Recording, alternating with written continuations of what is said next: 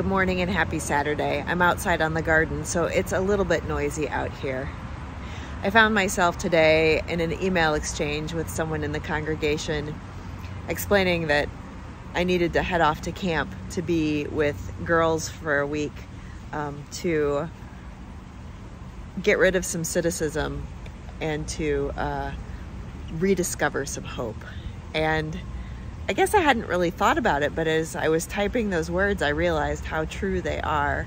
I need a week away to play, mindful that it is not a week of rest in any way, shape, or form, or a week of vacation. It is a full week of ministry, playing with adolescent girls who are exploring the world around them and finding safe ways to be themselves and to become leaders. And it's really beautiful space.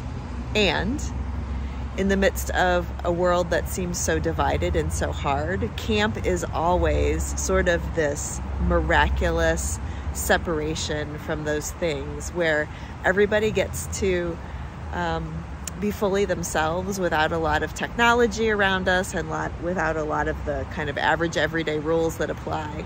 And so I'm really looking forward to this time with young lives to rediscover hope for the future.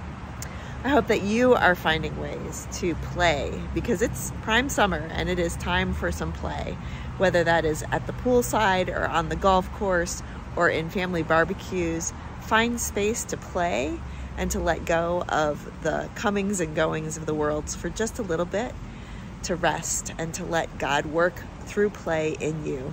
Be well, be light, and have a great Saturday.